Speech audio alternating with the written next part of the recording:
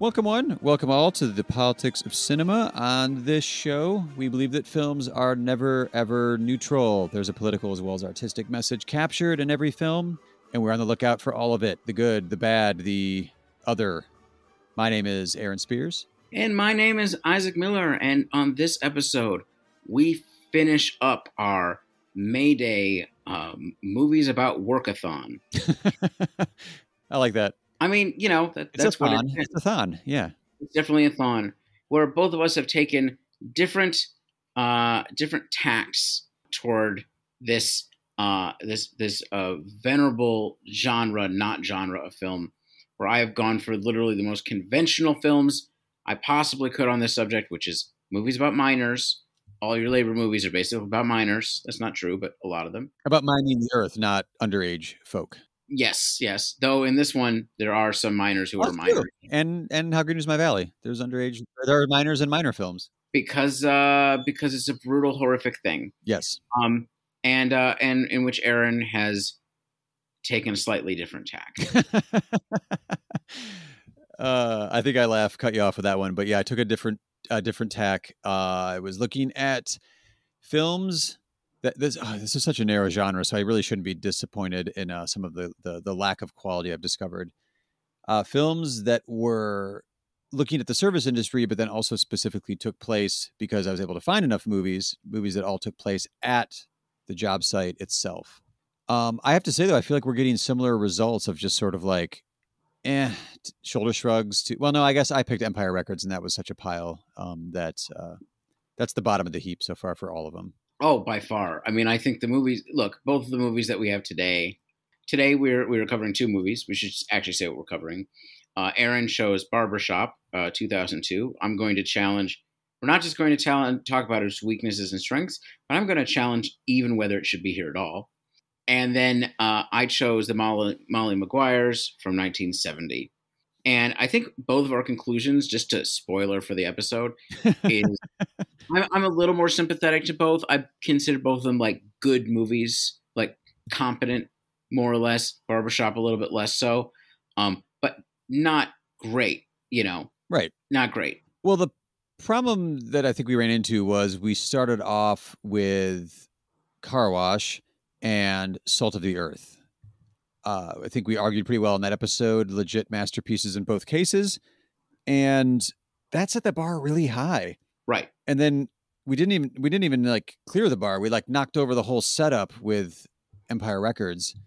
Your minor films focus has, has been has been a bit more consistent, I would have to say. But also, and I don't want to make this sound like a, too much of a defense of it, but the way we were selecting these movies for this month and looking at workers on film, these were movies that neither one of us had seen before. I think in all of the cases, it was movies that we had meant to see. Yeah, no, definitely. I mean, you know, I did how green is uh, how green was my valley, which I think we both said like it didn't perfectly connect with us, but is obviously made at the highest level, Yeah, yeah, quality wise, very consistent.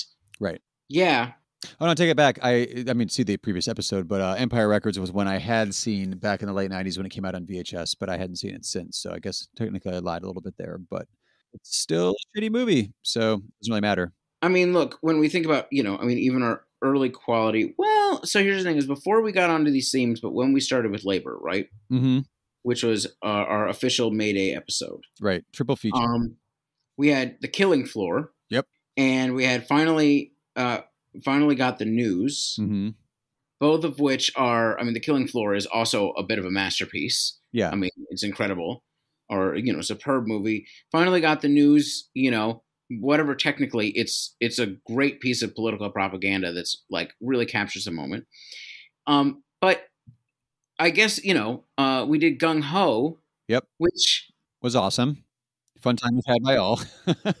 um wasn't very good um but was uneven because there was a lot of talent behind the screen you know right, right, right. and of course is neoliberal propaganda. But you know, so I think honestly, I think the the movies that we have today, like Gung Ho, is roughly in that. I think Gung Ho and Barbershop, maybe maybe I put Barbershop a little ahead. Then I put Molly Maguires, and then you know, and then we start getting into like it's well, oh, and then obviously like Empire Records at the total bottom. But it it is interesting. We've just got like it, it sort of seesaws in quality. Like there's a yeah, little bit in the middle, but it's like either we pick either we picked like the best fucking movie, or we picked like or eh, Empire Records. whew, man. Sorry, that one still stings. I don't know what's going on, but uh, so I had hypothesized at one point. Um, no, I hypothesized at a very specific point when we did car, when uh, we did Car Wash, um, the second episode in our May Day-a-thon or whatever it was you just called it earlier, our a thon, and looking at Car Wash from '76 because I had a couple other movies in mind that were around the same time period as Car Wash, and one of them I mentioned before the Empire Records episode, the film Record City from '78, which is all set in a. Actually, maybe I didn't mention. I think I mentioned the documentary, but I watched another film from '78 called uh, Record City that's all set in a record store, and it's terrible. It's not Empire Records terrible, but it's not that far off to be honest. Like if the people making Empire Records weren't you know fans of Record City, um, it, it'd be weird because it was like this is pretty much Empire Records. The Empire or uh, Record City actually has instead of the Rex Manning Day um, cameo, actually that's more of a supporting character in that movie. There's actually a Gallagher cameo where Gallagher plays Gallagher in Record City. I, I think I think you mentioned this. You might have mentioned this on the podcast. Okay, so that one was there. So I thought, you know what? There's this late '70s. I want to I want to take a look here because there's a couple movies I had in my uh, uh, that I that I'd previously had in my my diary on on Letterboxd. I was like, I know there was another one I watched there. I swear it was all around like a gas station, and it was. It was 1979. It was called Gas Pump Girls, which is what you would assume it's about. Pump girls are having fun now that school is out, and the whole town is there for the making. Gee, I hope I can remember everything I have to do. Don't worry, it's just four easy steps. Grab it, stick it in, squeeze it, and let it peter out. Gas Pump Girls, a motion picture delight when our girls change over a gas station and turn it into a fun station with sounds that will get you dancing while your tank is getting filled. Um, it's a competition between gas stations, I, if I remember correctly. But uh, it's the girls that work at this one gas station, so it's all set at the job um, about you know these specific girls. And that was '79, so I started poking around to see what else was coming up in the late '70s. In '78, uh, I got two examples that I watched. One was called Star Hops, where it's three it's three women who work as um, I guess it's car hops, right? At like a, a drive up restaurant. I'm not Yeah. old anymore, right? So uh, you know that was a specific specific era, and so in the first scene, the owner is just like, "Fuck it, I'm out." Actually, I think it was Dick Miller of all people too playing that car that character, and he just like sells it to them for whatever. So they're in charge of the restaurant or the the this this uh, car hop restaurant now, and by the end of the movie, they all are matched up as all heterosexual characters. They're all matched up with guys, and they end up forming a co-op with a car repair shop that's going to open up right next door. So you have a car repair shop and the drive up restaurant, you know, they serve you in your cars. But they're specifically talking about like their the, the end of the whole resolution of the movie is, you know, we're going to form a co-op with um, these three guys who are going to run the business next door to us. And you're like, "O- okay, that's interesting. There's another movie from 78 called FM that has a very young Martin Mull, very hot young Martin Mull, actually. It's all set in a radio station in LA. It's it's when it's when they find out they're the number one FM station in LA. Everyone's happy, and the ratings are soaring at Q Sky Radio. We have done it, and we are going to cook and cook and cook and cook. But the top brass think things could be even better. Just go sending the dude here to get these big accounts to put spots on our station. I'm Regis Lamar from Chicago. Look, pal, I don't give a shit. You're the Messiah from Jerusalem. Come here to make my life perfect. What do they care about music? Well, to tell you the truth, I can take it or leave it. All they care about is money. Wall-to-wall commercials. Yeah, too bad we can't get rid of the music completely, huh? Yeah. Everybody has to bend a little. We're gonna let them do this to us? No oh. way. Okay. Oh, get him down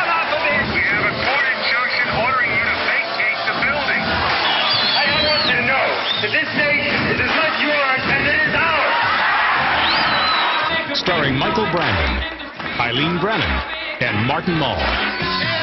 Special concert appearances by Jimmy Buffett.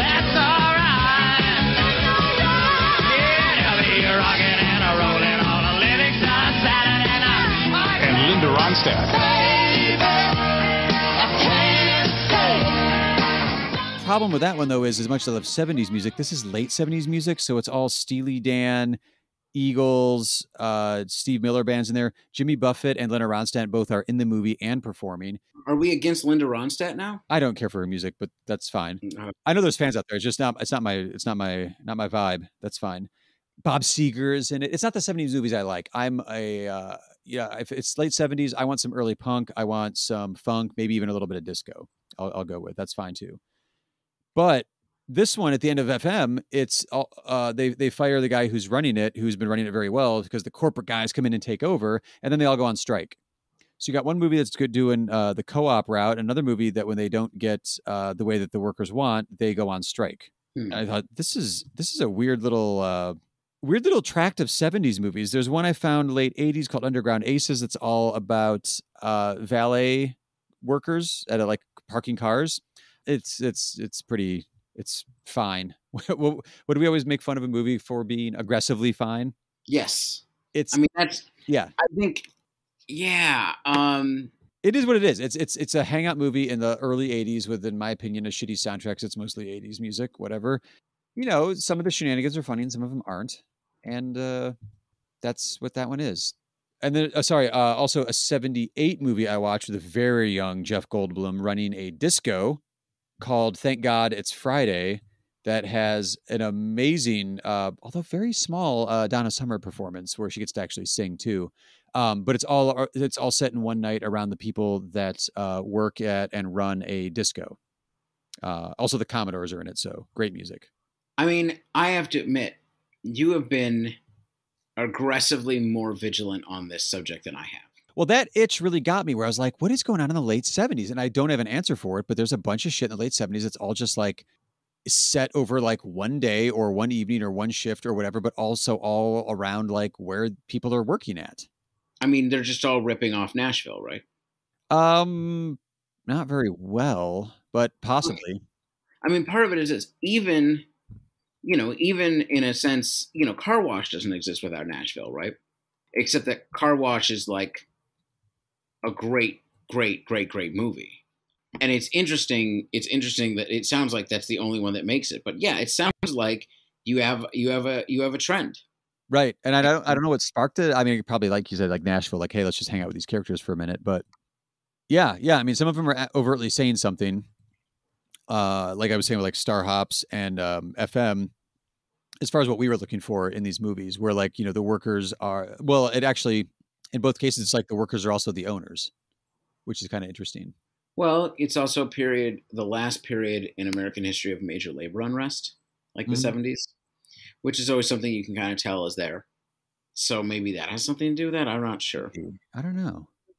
Well, I, I think some of it might be the way that filmmakers are coming into the industry in the in the late 60s, early 70s. Well, at this point, actually, this is more late 70s, so that may not be true. We're like there actually is a connection because like they've had to work these jobs while like while they were trying to, you know, get into the industry, as it were. Although not, not these aren't all necessarily like industry films, but nonetheless, I don't know. It's interesting. There's some a serious trend, and I, I- mentioned early on, like maybe I'll just hang out in the 70s and just you know uh, watch this just to get like a real in depth look at whatever the trends may be. But our watch challenge was, you know, different decades, so that's why I mapped out the uh, different decade stops that we've been doing as the the main chunk of the show.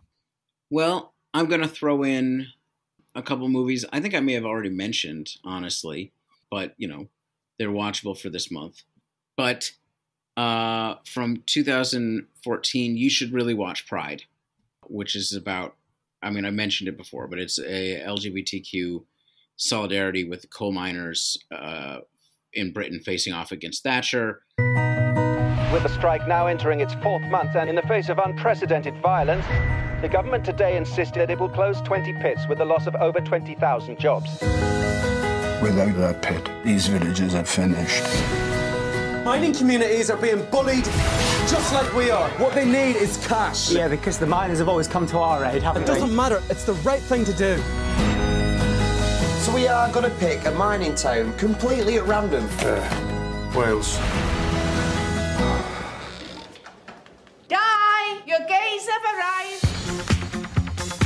Meet everybody. Name uh, the group you represent in this case. Lesbians and gay support the miners. I'm hoping you can clear something up for me about lesbians. It did surprise me. Let them Now, get settled in first, shall we?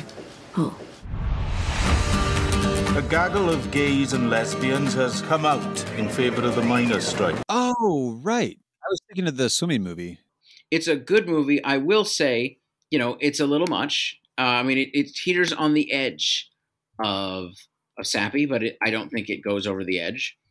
And it does have to work a little to get a happy ending, since ultimately the coal miners do like lose historically. But it has maybe the best version of "Bread and Roses" I've ever heard. And "Bread and Roses" is my favorite socialist song. It's incredible. And then you know, like there's things like "Coal Miner's Daughter." I really meant to talk about, but we didn't really get a chance to. Uh, the, uh, Proud Valley with Paul Robeson, and then you know, I very carefully and intentionally did not include Matewan in all of this because it felt too obvious. But really, if you haven't seen John Sayles' Matewan, you should see it. If you want, you know, if you if you want to see James Earl Jones toss people around and have a bloody showdown with the fucking Pinkertons or whatever, uh, you know, and interracial unionism, Mhm. you know, and not just the interracial, but the Italians and and and the black workers and and the native white workers getting over their differences and bodily bodily defeating the bosses. Is this is the place to go. So like yeah there's a lot more minors minor movies that i could have chosen. I think i tried to i tried to pick ones that i didn't really know particularly well and i kind of succeeded at that but i did not go as in depth as you uh, in terms of like things being a project. And i i kind of regret that Tell the truth. You got distracted with anime. I did not get well. I mean, all right. I admit it. I I did spend a whole week going through Castlevania repeatedly because that is literally some of the best animated action I've ever seen. And I also might have started catching up on some of my blockbusters from the last year. And I've had a little bit of a kung fu um, uh, obsession of late. Uh, so I had to watch Knockabout. And I'm finishing up. I have a, a, a list of about 35 movies. You can see them on my Letterboxd from the 80s, 70s, and 60s. And I'm working my way back in time that have just been long time movies that I mean, meant to watch. And I've been finishing those up. I actually, my last one from the 80s is coming right up. It's um, uh, Personal Problems by uh, Bill Gunn. Bill Gunn. Yeah, I've just been holding off on it because it's like it's like three and a half hours long, and it's like when do I have the time for this? But like you're gonna do it, you're gonna work through. Um, but it's it's it's my desire to get the complete Bill Gunn collection. There's only one more movie to get, and I have no idea how I'll watch it. Is it Stop? I believe it is Stop. Yes. Well, it's the. You, know, you only did three movies, so I was guessing it's that one. Yeah. So I got distracted. I think the problem you you ran into though was that there just weren't that many films about miners that were being made in the 80s. Well, Matewan, I guess, like you're saying, but yeah, Matewan was it. Also, being a show called The Politics of Cinema, with the premise that we have, in which films aren't neutral, um, John Sayles is one of those. Like, it's it's okay to not focus on him this particular month because we will be getting to John Sayles at some point. We, we will we will be doing a lot of John Sayles at some point because he is like our guy, right? Yeah, absolutely. I mean, he lines up in so many different ways with just everything that uh, we love in film and just in general. But you know, we're not putting out four episodes a week, so it's going to take a minute to get to John Sayles. But uh, for some reason, before we get to John Sayles on this show, we got to talk about Barbershop from 2002 because I picked this movie. And if you're unfamiliar with Barbershop, it's, uh, I guess everybody would call it like an Ice Cube movie. Even though in this case he didn't write it or direct it, I probably really should have picked Players Club, which was, I was debating between this and Players Club. This one was set in 2002, so it's a, or shot in 2002, so it's a little bit later than Players Club. So I wanted to get a t- early 2000s movie in, and it ended up being Barbershop, a day in the life of a South Side Chicago barbershop. It began as just another day on the south side of Chicago. All right, now listen up. Give me your wallet and your jewelry, won't be no problem. Eddie, get your, leave the boys alone. Sit down. It became an extraordinary day at the barbershop. I need a cut. A little off the top, long in the back, but not quite no shag. Slope to the left like Gumby. Eddie Munster in the front, a little white cliff on the right. Come on, hook that up for me. From MGM Pictures and the producers of Soul Food and Men of Honor. Push it through. Hey, hey. Ah, my finger. You wanna know how I really feel about you? Just think about that babyface song.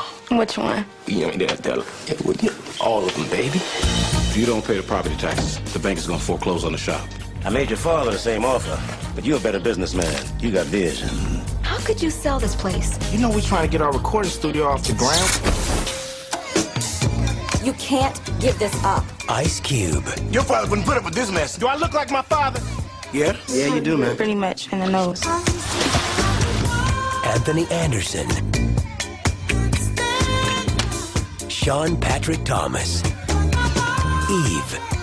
And Cedric the Entertainer. Yo, daddy, he believed that something as simple as a little haircut could change where a man felt on the inside. Sometimes finding the strength Get out. to do what's right Here go your money back. I'm putting it right here on the table. Man, you're gonna take this money. You're gonna take this money. It's in the people We can't talk straight in the barbershop. Then where can we talk straight? right beside you. So that trailer is the I mean it's 2002 technically, but it's like the movie guy who voiced all the trailers in the 90s. Like it is the whitest narration to this film you could have possibly put together. I don't know how anybody involved with this film saw this trailer and was like, "Yeah, that'll sell this film." It's terrible. And yet, this is a franchise movie. Oh my god, it's it's crazy. It's Right? um yeah, no, it's uh it's this movie. It did um Barbershop 2 back in business a couple years later. It did Barbershop the TV series, started off in 2005. It did Beauty Shop in 2005 as well and then came back with Barbershop the next cut in 2016. Here's the weird thing about that lineup. Hmm. The Rotten Tomatoes universe of how you score a movie, best Yeah. movie of that bunch is Yeah. Barbershop the next cut, the most recent one. Really? Yeah. Fourth movie into it, and it's the best one or best best reviewed one on Rotten Tomatoes. I mean, it's possible. I I can believe it. Yeah. I these things are possible. Look, here's the thing about this movie. I basically think they effectively pull off the hanging out. Yeah. Which is sort of what this is about. Yeah. I get what they're going for and the value of it. It doesn't like make me laugh out loud too much, but like I basically enjoyed it or I felt I almost made me feel nostalgic for the time in a sense, you know, For 2002. for 2002, but uh, honestly, I could also go with 1999, frankly. Maybe. You know, like I think it's I think it's fine. You know, I don't think it's a bad movie. I don't think it's a great movie. I think it's kind of slow. Yeah. It it's not actually that long and yet there there does seem to be pacing issues. I think it feels long. I think it feels long. Yeah. I mean, it's uh hour 40, I want to say. I think it was like, yeah, it was like an hour 40. Um, I probably would have guessed closer to two just because of some of the pacing problems there. Yeah. Uh it does have a nice Keith David cameo, but is there any other kind? Nope, there isn't. Well, there's nice and there's scene stealing awesome, I guess, maybe. I mean, I think he's scene stealing. He's definitely scene stealing the whole way through. Um, I I wanted a bit more of he and Ice Cube together because I think those two could do some pretty interesting work. Well, especially if you're going to go, you know, more on the comedy than the drama end. But those scenes are more the drama part of this movie.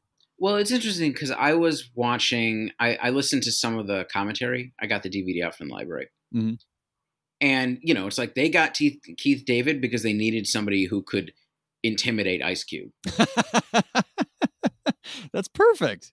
Yeah, no, that is. I mean, they're literally like, we need somebody who on the screen you believe that Ice Cube is intimidating. It's like, Right. yeah, is David can Bill Duke that. available or is Keith David available? right? Yeah, that's who you're gonna get. Yeah. and it's, uh, you know, it's it works. Yeah. Um, I I enjoy the banter. I actually enjoy some of the uh the the political debate. I don't have any comment on. You know, it's interesting to hear people talk about reparations since reparations is an important thing right now. Mm-hmm.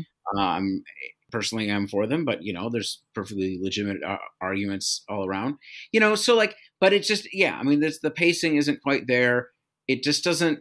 I mean, it's miles ahead of Empire Records, but at a certain level, like, you know, most of the stuff is super generic. Yeah, yeah, I agree. It's um, I think I think it's the main thing is that there's not a surprise in the whole thing. No. Well, okay. There was one surprise for me. So the uh, the the basic premise that we've got here is um, Ice Cube. I know he's playing a character, but I mean, like we talked about with uh, Norm George Wendt on the Gung Ho episode, he's culturally Ice Cube, no matter what he's playing. Yes. I think he's like Calvin in this one. But anyway, so I- Ice Cube is running his dad's barber shop. He's a little bit he's a little bit into it now. His dad passed away and left him the shop. Year maybe I don't know, not too long. Two, two years. Two, Two years. Okay. So he's been doing it a little bit and he decides he wants to get his recording studio going. He's got dreams. He doesn't want to have that burden of like continuing like the legacy family business. So he wants to do something else. He wants to make it on his own. So he sells the shop for like 20 grand to Keith David, who's going to turn it, keep the name barber shop, but he's going to turn it into like, like a strip club, peep show, something other, probably a brothel. He's a, you know, dealing in the black market here. And then he immediately, not immediately, but he learns to regret it over the course of like a day or two here. And no, it's a day. Sorry, it's all set in one day. He comes to regret selling it over the course of the day and has to figure out. It pretty quick. You think so?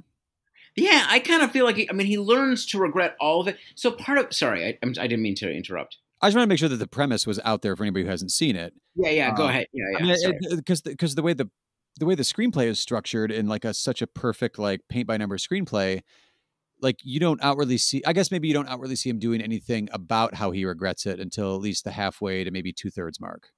Yeah, I guess I don't know. I maybe it's just because I just saw it coming. I mean, he's already uncomfortable with it. It just doesn't, you know. You know, one thing that would have helped, Hmm. maybe more. We hear about his schemes and we see his studio that he's he's gonna become a big, you know, uh, a big producer or something in his basement, like burn. We maybe we need to see more of that. You're like a we- montage of other failed ventures or something. Yeah, something to anchor it. I don't know. I'm just trying to think of like what would have made the stakes feel more. I mean, obviously the stakes are like there, but like I don't you don't feel it quite as much as you should. I don't. I would have gone a different route, like because I, I, I like the last note I wrote when I was watching this was, um, this movie should start with the final shot, uh, except for the apple juice joke, which just drove me nuts the whole movie. Um, because you just it's another one of the things you just see it coming. Oh, let's give this character a quirky trait. Oh, somebody's always drinking her apple juice. Um, hilarious. As, as as a lover of apple juice, that made me you know like really uncomfortable. I don't need, but I don't need the, I don't need the stakes in this movie. Like, what are the stakes in Car Wash? You can make that uh, hangout movie like this work and just be about the characters and build the characters up better instead of having these, you know, um, archetypal, stereotype, whatever you want to call them, characters. You're like, oh, you're the so and so character that works here. Oh, you're the such and such character. Oh, you're the female character who works here. Like, they're like, take the time to just hang out with these these interesting people that are clearly all from the neighborhood and involve like the neighborhood a bit more and do a little bit more of their background with the neighborhood and have that come out through just hangout dialogue.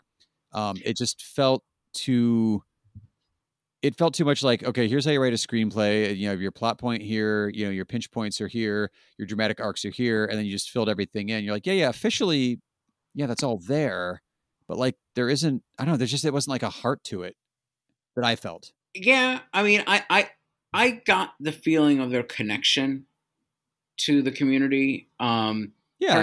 people just keep filtering through. I mean, there's that's like the easiest thing to do, right? Like it's Right, so right. obvious how you do that. But like, I get what you mean. Like the conflicts lack drama because you kind of know where they're all going. I mean, yes. Yeah. Um, as soon as the conflict's introduced, it's it's the it's the complaint you had with Empire Records, which was which was dead on. Where you're Right. like, you have all these things here, you have all these pieces, like now do something with them. Oh, you're not doing anything with them. I feel like they it's they do like the most obvious thing with them, but you do get the arcs and you do get to see them play out. so this is the thing. The difference is that I think everything here connects. Like the thing about Empire Records is just things just appeared out of nowhere. Whereas by and large, I'm not saying 100%, like basically everything does. It's just not original enough or interesting enough. It's very paint by numbers. But like, In barbershop, yeah, in Barbershop. right? and right. No, not- yeah, that's what I'm saying. it's not paced well enough. But the reason it's like a step above is the people are more talented and they're can still considerably more interesting Yes. interesting than Anyone, every, oh I mean I would anyone in Empire Records, yeah, for sure. I would look, I would watch Dinka, our very stereotypical African immigrant, get up the courage to ask the cute girl out for hours before watching Empire Records again right. as generic and stereotypical as that is, it is at least something happening that I mildly care about Right.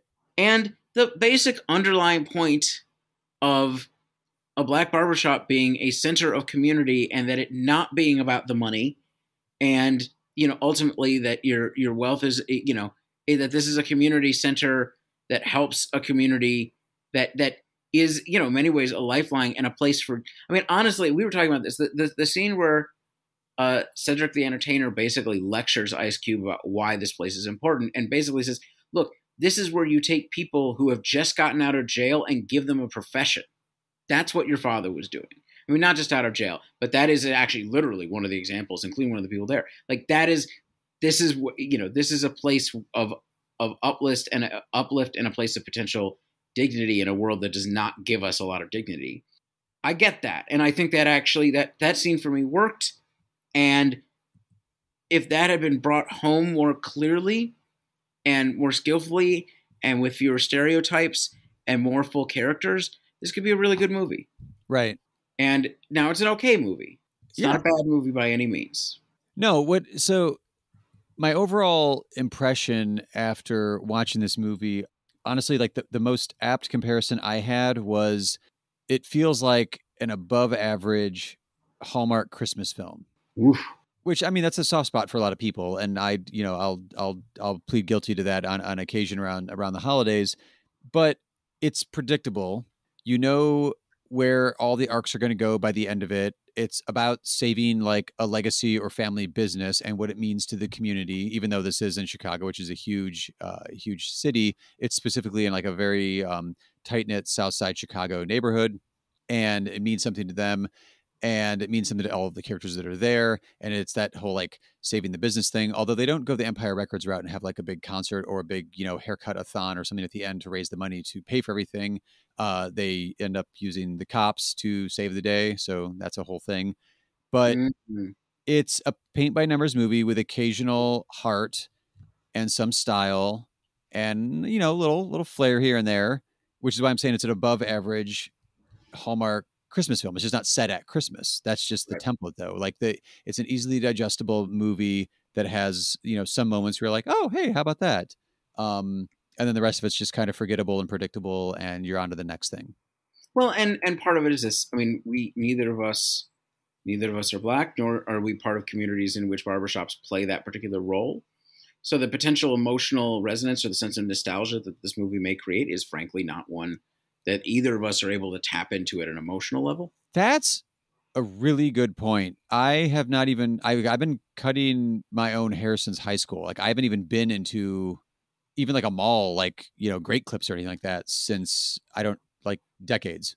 Yeah. Yeah, there And- I, there is something that I could I'm just missing there experientially speaking. Well, but it, but also it's that this is this is playing a particular because of sort of the racial pol- the racial political economy of the United States. This is also playing a role that like I do go and get haircuts, but I'm still not going to have that experience necessarily that Right, experience. right, right, right, right. Right. So it's just, yeah, it's just it's not you know you're not gonna we're just not gonna quite grasp why this would create as much nostalgia. I think we're right probably about the overall quality, but like one of those Hallmark movies or like any sort of like relatively rote comedy, but with competent people doing it, right? Good actors, you know, the whole deal, right?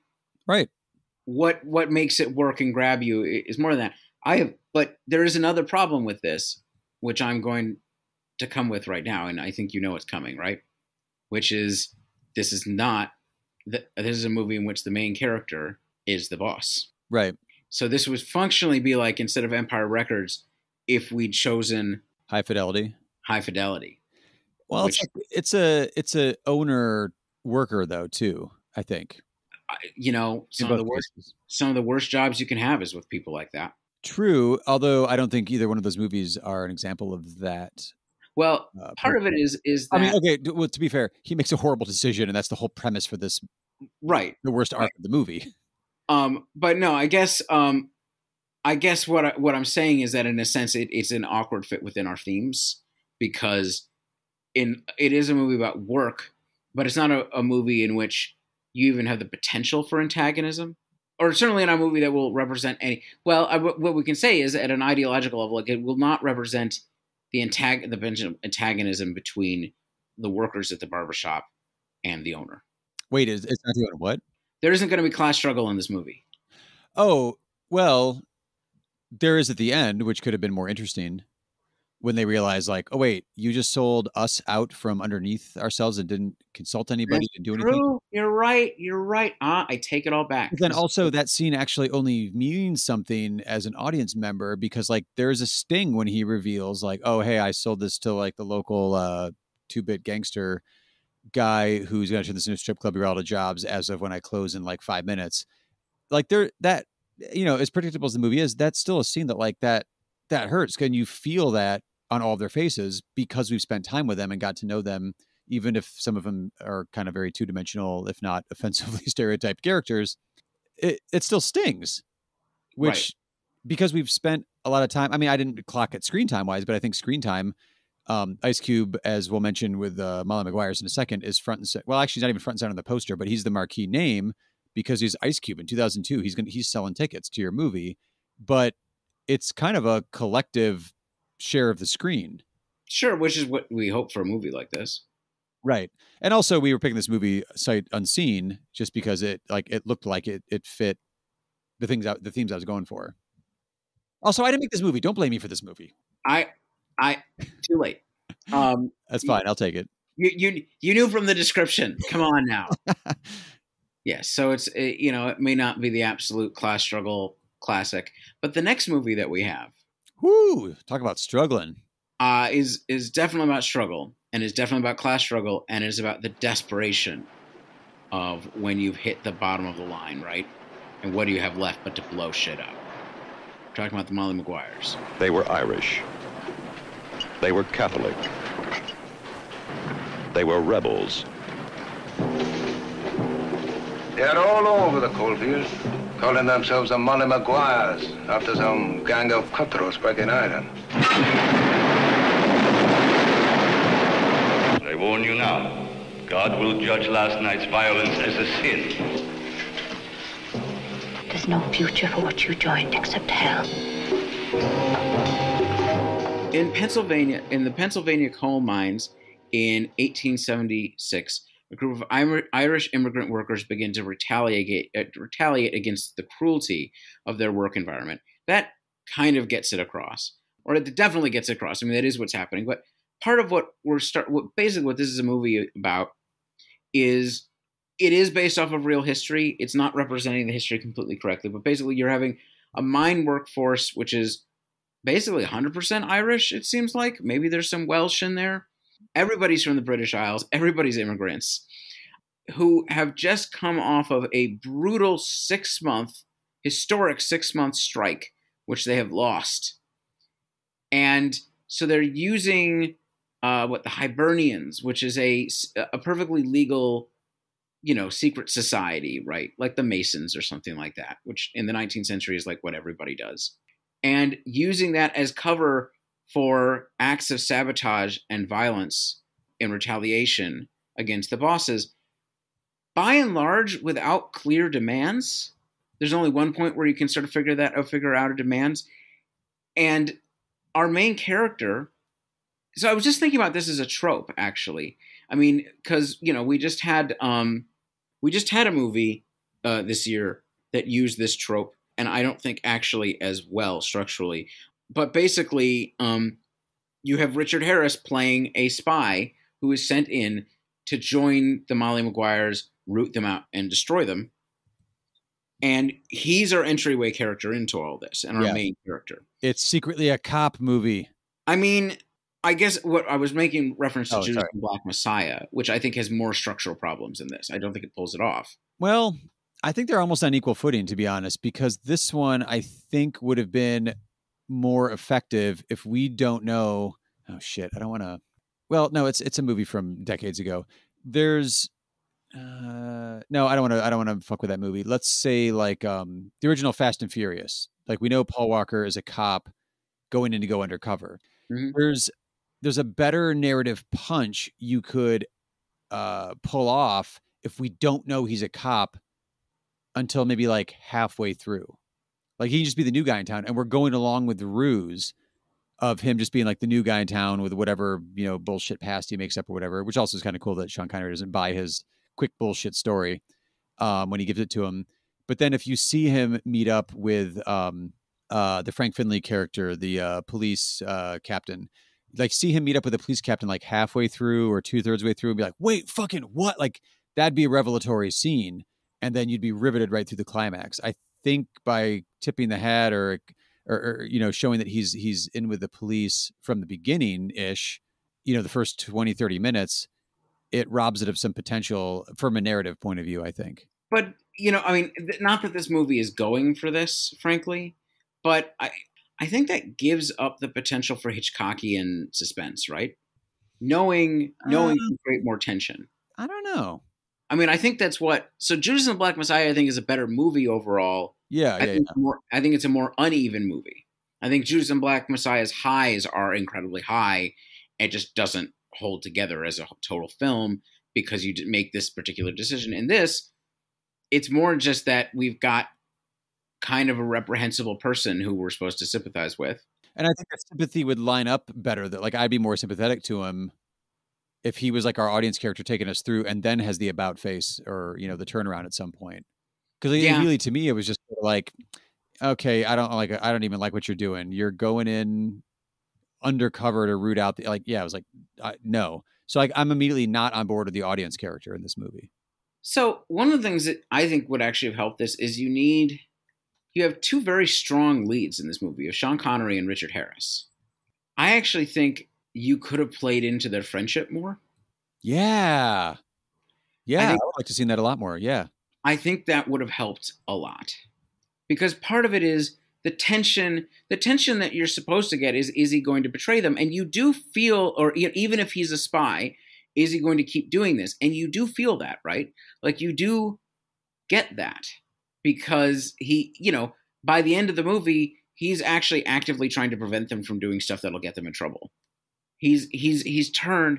I you know I think there's some good subtle work in this movie, and I think there's also an interesting. I mean, we'll get into the political perspective of this. I mean, this is this is about brutal class conflict, right? I mean, in some ways, some of the most brutal that the country our country has ever had, and I, actually, I'm just going to just quickly say before we keep going with this, this is I think really great set design. It's really beautifully shot, and they spend a lot of time in the mines making you watch it, including child labor and the whole thing. So one of the things that they keep basically arguing for why we're doing this violence, right? Why we've gone to this level is they're killing us. And you can see that. right. They show that. You believe that these people are being wasted away. I think you really I mean this is, you know, you really feel the desperation. Well, I mentioned it on our "How Green Is My Valley" episode about how like not too much, uh, not too much in the mines on this film for being like we're all miners. Wasn't a ton in the in the mines in uh, "How Green My Valley," and this film more than makes up for it because Right. there's a lot of stuff in the mines here. Um, also, as you're mentioning, you know uh, how well it shot, we should give a quick uh, shout out to James Wong Howe because this was one of his final uh, feature films that he was cinematographer for, um, best known for his Oscar-winning work on uh, The Rose Tattoo and HUD. Probably HUD's probably you know one of the more famous ones. Seconds with uh, John Frankenheimer is pretty stellar. Um, if you're a musical fan, he shot Funny Lady. Guy could do everything. Started off in silent cinema and made it all the way up into the 70s. So, uh, congrats to him. That's like a hundred and you know fifty some cinematographer credit career right there. But yeah, no, it's it's it's um actually I even I, I jokingly wrote in my notes at one point about how I said uh you know how green was my valley. It's a black and white film. We didn't get to see how green the valley was. There's a scene where Richard Harris heads out of uh heads out of the town that everybody's in with uh, Samantha Eggar, who's playing Mary, and has a picnic. And they talk about how green it is out there. And she's like, "Yeah, where we live, like everything's just covered in soot all the time." Like, yeah, because it's fucking terrible. It's all it's a mining town. This is not where you want to live. Right. And you feel that though, like the like it it it hit my eyes. I was like, "Holy shit, it's really green right now." And then they start talking about it because they're actually out of the the mining town. Right. I don't know if it's I mean it's good set design, it's good production value. I don't think it's necessarily good for like obviously the planet, it's mining. Um it's not good for the area you want to live in, but the area that they shot this film in in northeastern Pennsylvania in the late 60s, there's a I don't know. If, I don't think it's really a joke. It was like an anecdote I read in a review, for, a contemporary review of this movie, saying that the town had changed so little since the 1870s when the film is is set that all they had to do before they shot started shooting was remove television antennas from the houses. Interesting. It was like, oh, Really? Like that's gross. Do I, mean, I sort of interrupted? Do we want to sort of get into more of how it, it, you know, the ways we don't think it quite lands? I mean, I think it's a good movie, but it's I think it's supposed to be a great movie, right? It's trying for great things, um, and I, I I think it hits a few of them. I like how on the side. I don't know how to word this. I like how it's just like, yeah, we bomb shit. We're taking on the man. That's what we're doing. Like, there's no judgment to like, oh my gosh, I can't believe they're setting. But there's no character that's just like, oh my god, I can't believe you're. shooting. Well, there's the priest, but that guy's actually. I, I think there's a bunch of. Char- I mean, there's there's there's a priest and there's um. So Richard Harris's character is staying at a woman in her father's house, like they have a room to let, and Right. then he sort of woos her, and you know he's a uh, the the the father is a former miner who's been wasted by the mines, and is close to Sean Connery's character, and she's totally against the violence, right? Like I don't think it puts the audience on her side, though. I think it puts the audience on the side of of Richard Harris and Sean Connery. Well, let's get into what this movie is actually about in a, a second, or what I think it's actually about. But let's figure out this is a flaw. Is the movie saying the movie? I think clearly the violence is justified. What are the consequences of the uh, violence? Is is technically justified, but are the consequences of it effective? Because in a lot of ways, they basically end up with the violence that they, that they're carrying out is like self-immolation. Right. it's not you know it's not going to stop this. It's not going to do anything. They can't win. They will get caught. They will get isolated and defeated. And i i i think there's a reason this came out in 1970 Yeah, because it's like until you were even mentioning how this movie isn't focused on two years earlier when it was like the strike. It's focused on. I mean, the narrative starts up like right afterwards, where it didn't it didn't work out for them. well in real history the, his richard harris's character this is all you know really happened the molly maguires are supposedly real though it's not clear that they did whatever they did their trials so part of what's different than than, than the history as i understand it is how do i put this basically it's never it was it, their trials um, whereas in this it's very clear that they're guilty and they've been captured. And that's important to make the point because okay i think this is about the weathermen. It's about the new left spiraling out of control. It's about the despair of failed revolutions. I'm just going to say that and just jump back real quick. But in in real life it's not proven. And in fact it i think in in the in the late 20th century the state of pennsylvania actually overturned like gave pardons to everybody involved in this.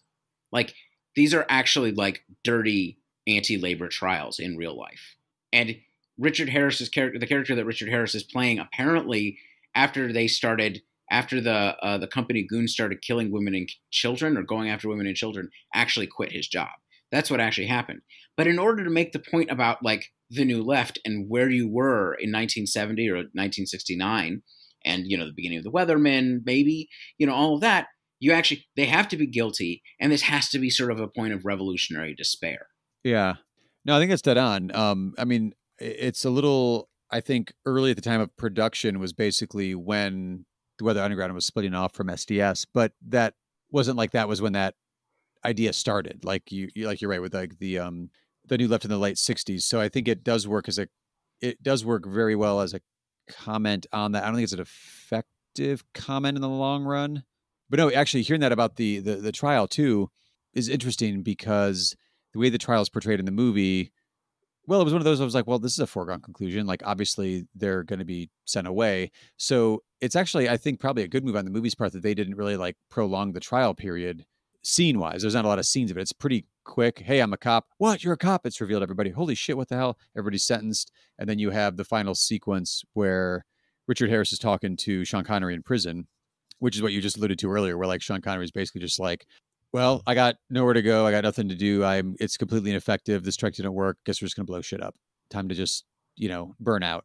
well it's it's you know we've got to defiance is dignity right like we Right, right, right. grab this little spark and be alive and show them show them just a little bit You know, your only agency is to uh fuck with them. Like what else I mean, what else are you gonna do? You know, he's he's uh he's Naga. Well, not he's the, he's the Boars in Princess Mononoke. Uh, to make a very random reference to her. It, it, it works though.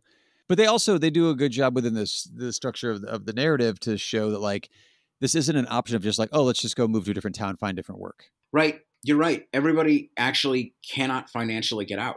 This is a company town. It's company town. There's no option for that. Even um, uh, Mary, the Samantha Eggar part, when Richard Harris, who clearly does have actual feelings for her, um, so again, it's kind of hard to tell where his allegiances are at. He talks to her in the courtroom after the decisions have been made, after the people, uh, after Connery and, and his crew are in jail, about how like, no, you could still go with me. You could still. So like, she's even still given an out, but you know, she morally, she's like, I'm not going somewhere with you. She literally says, I would have gone with anyone for I thought that I would have gone with anyone for anything.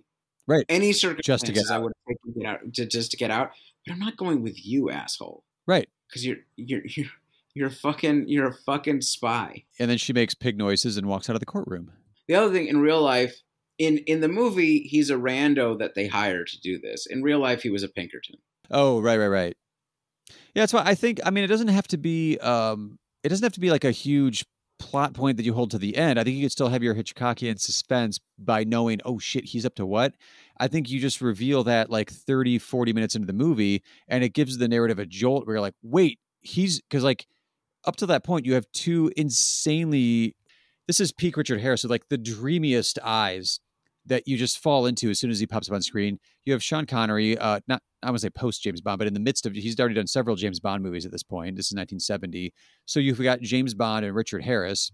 Like you couldn't have more, you know, Irish and Scottish dreamboats playing these like dirty ass coal miner parts. So like their charm and charisma and their chemistry, again, like you said, if you heighten their friendship or they click, uh, you know, over that rugby scene or whatever, move that forward a little bit in the plot, and you've got like this friendship dynamic going on and then reveal that one of them is clearly just going to sell them all out by the end and he's a cop you've got that like a much more interesting i guess sort of twist at like a 30 or 40 minute mark and then it becomes from the audience's point of view oh shit like how is he going to screw him over oh my god he's actually kind of are they changing his mind is he actually on board with them and until you get to the I don't know, two thirds uh, ish mark in the screenplay when he's actually like setting the uh, offices on fire with Sean Connery. You're like, oh my God, he's switched sides. He's with these guys now. Like I, I think you'd have a different arc, and it would it would it would it would uh it would propel the narrative a bit better from an audience point of view to to the end when you get that courtroom scene. Yeah, I think I think you're right. You know, and, and part of it is this: there is enough going on between them that the final scene in in the jail where Sean Connery, where they talk very amiably up until the point that Sean Connery attacks him, but basically Sean Connery is like, time he tries to choke him to death. Yeah, right, which you know is a perfectly reasonable. fine. Yeah, But you know, like, but you know, part of it is Sean Connery saying like, you know, at the end, it's like, yeah, we've been talking amiably about all this, but like, you what you really want is absolution, right? mm-hmm. You want a way out, and you're not fucking getting it. right, right. Yeah. Well, I mean, is the choking meant to? I'm trying to remember. Is the choking meant to give him that? Like, Oh yeah, maybe a little bit. it's supposed to give him that, but then he says, like, look, this isn't going to work. It felt satisfying as an audience member to see that scene. Sure, The but I mean, part, but yeah. I mean, he sort of says like that none none of that will actually be enough in the end. Um, hmm yeah, it's it's eh, it's good, but I think yeah, all the elements of it could have made it great. Yeah, but it's not like we like we joked. ugh, we just cannot stop picking on Empire Records, but fuck that movie. Um, it it's not like Empire Records where like there's nuggets within that story where you're like there's something good in here, you just didn't do it. This one's really close. Right. It's really close. Is there's just a, a few structural changes over because you are dealing with great actors with lots of charisma and all the sort of technical stuff that you could need and a really compelling story. Yeah, and you've got um again a spectacular, like legendary level cinematographer, um, and also you've got um Martin Ritt, the director. He hadn't at this point in time, but he goes on to direct uh Norma Rae. Like he's got an an, an interest in social issue dramas and is is pretty adept at them. Likes his strikes. He does. He does. Uh, not not an accident. Well, that makes this all the more makes the sort of new left angle on this all the more interesting. I mean, that for in in this, like this is a movie in a sense. I'm gonna go back. If you remember, nearly oh a year ago, when we were embarking upon the summer of the '60s. Mm-hmm. Dear listeners, if you haven't listened to our summer of the '60s, it's good stuff. And I will always bring, you know, always say that my great regret with that. I think it was great, but that it would have been better if we'd made it to 72 because that's the real end of the 60s. This actually would have been a great movie for that series. Yeah, I think It so. would have- It would have fit in really well. And like some of the movies that we did there, some of the movies, most of the movies I think we did in the for that were very good. A few of them were like not great, but totally got across our themes.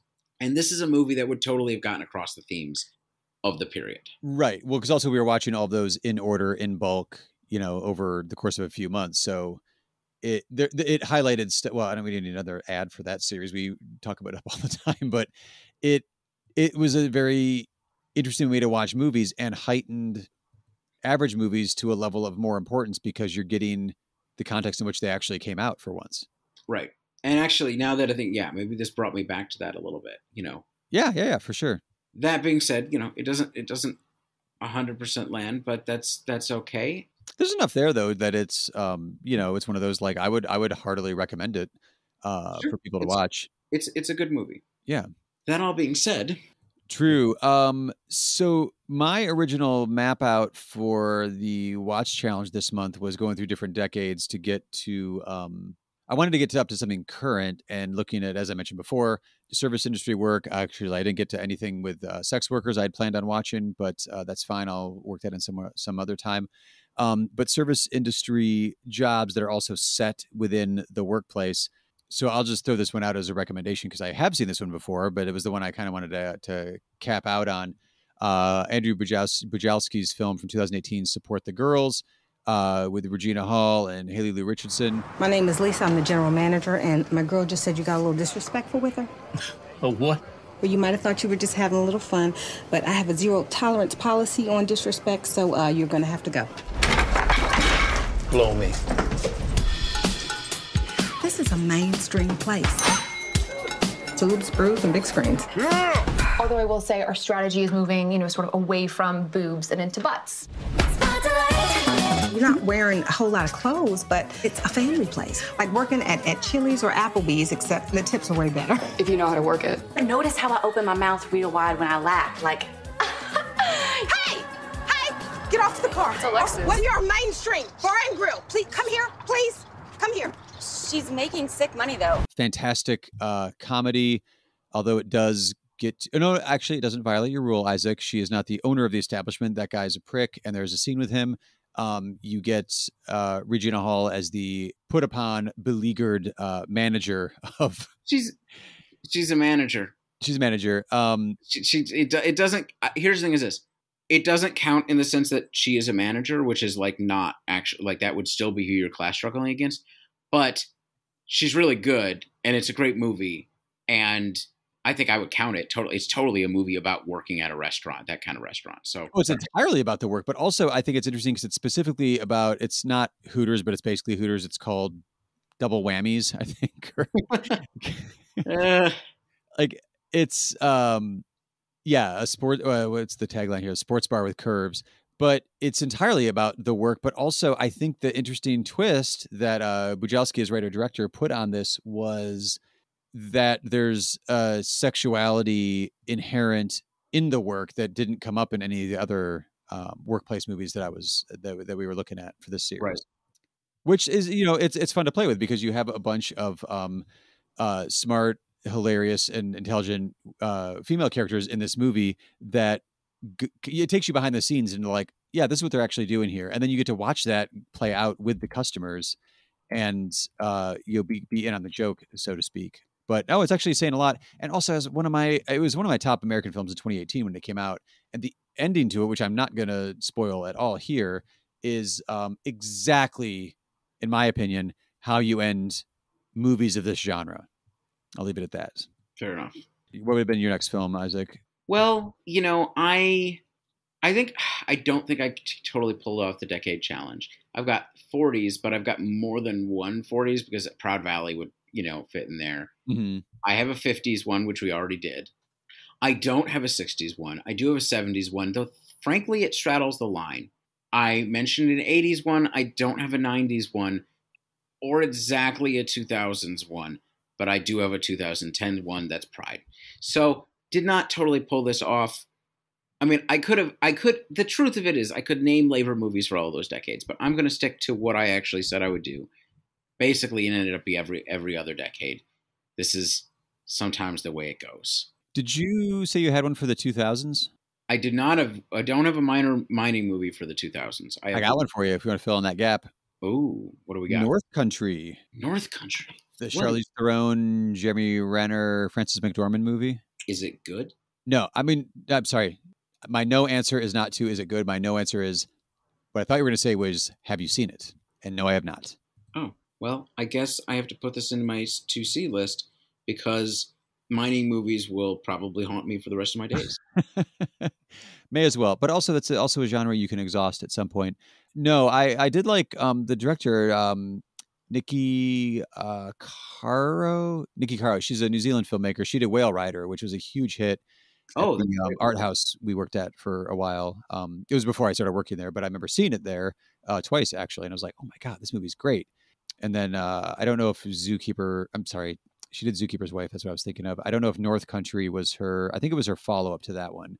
So that was the usual like coming to Hollywood and um, you know directing a movie in the studio system for the first time, and she picked North Country, which is an interesting pick.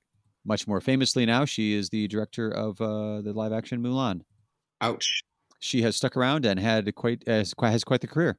I don't. I sorry that that's mean. I don't mean to be mean to her because I think she's a talented director. I just mean that the live action Mulan. As a concept, I get you. Well, I mean, part of it is we've talked. We haven't talked about this since very early in the podcast, but you know, where people go after Marvel movies is sort of like the death of cinema or whatever, and I, I don't think that's true. I, I we can talk about the problematics of, of superhero movies or whatever. The actual death of cinema is live action Disney, and Well, I think a global pandemic hitting at the same time live action Disney is happening is the, the death of the death of cinema. I mean, part of it is is that it almost feels like the death rattle. Like maybe all this is because you know it's like what what are you? What are you when you Yeah. cannibalize the cannibalization? Like, ugh, God. Well, the the the oddly perfect segue from Nikki Caro and Whale Rider and how she went into the Hollywood system, starting off as an independent and going to the Hollywood system and ended up directing the live action Mulan. Again, no shit on her. That's her. It's her career. She can do what she wants. Mhm. That is going to be a topic of conversation for our next episode when we are going to take a look at uh, Chloe Zhao's Nomadland, the big award winner from this past year, 2020, starring Frances McDormand. And she is be- about to head into, if not currently in, as we're recording this right now, the Marvel Cinematic Universe. Uh, correct? Well, the first the first uh the first preview for Eternals already came out. Ah, all right. So there we go.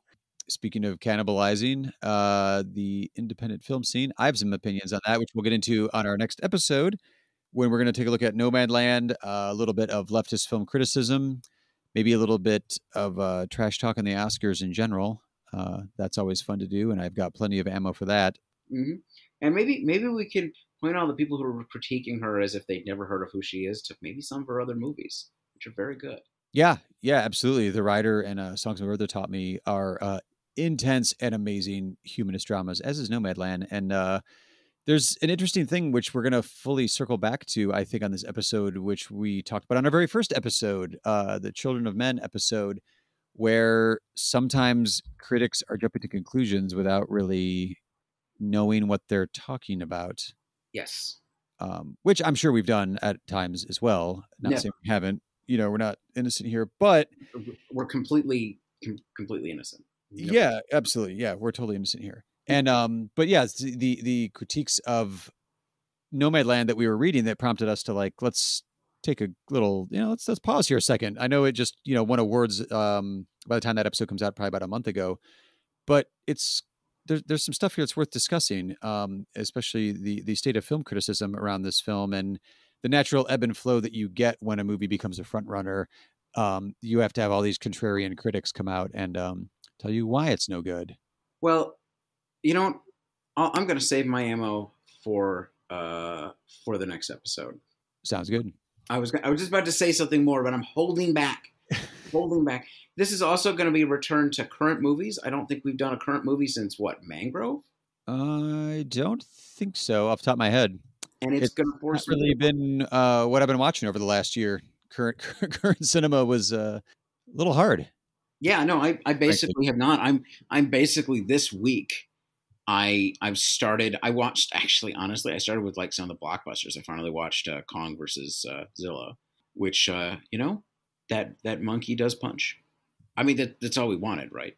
Yeah, I mean, I wanted a little bit more to that movie, but that's fine. Well, okay.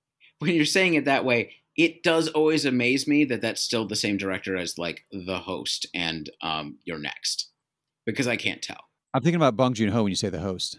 Oh, The Saoirse Ronan movie? no, no, uh, not The Host. The Guest. I'm sorry, not The Guest. The Host. The Guest. Oh, Adam Wingard. Yeah, Adam Wingard. Oh, So, that's like- his movie? That's his movie. Yeah.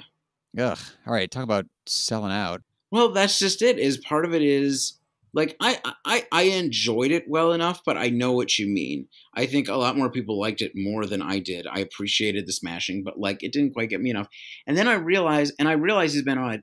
There's a lot. I haven't watched any of his movies in between, and I know people didn't like Death Note, which fair enough. Um, but like yeah, like those are like great genre movies. Yeah. And, I- and this is a genre movie. It's not that great.